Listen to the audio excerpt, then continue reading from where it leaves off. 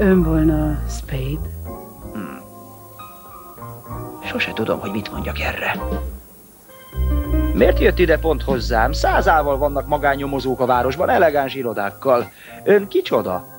Ön olcsó. Tanya Covington vagyok. A férjemet megölték, vállalja? Hadd gondolkozzam. Persze. Ez Tarzan hangja volt. Úgy hangzott, mintha, mintha bajban lenne. Jó, akkor hívja segítségül az új barátait, nem érdekel. Ez már sok!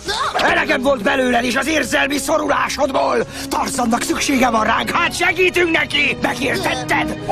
Lássuk csak! A Rákcsáliai csatornaépítés, a Sajtskalpoló Fesztivál, a Kesterburgi lebegő mumiakéz, most az évfordulós ünnepségek. Ez négy nulla. Azt hiszem, elő jól néz neki még egy kis topér, nem? Derítsd ki, minden mesterkedik, Stilton! Pont olyan, ahogy szeretitek. Jó forró. Támadt egy igazán jó ötletem. Miért nem megyünk egyet ö, ö, sétálni? Szedünk málnát, desszertnek, és jól meg is éhezünk, mire visszaérünk. Először is a puskát csak kibiztosítva szabad vinni.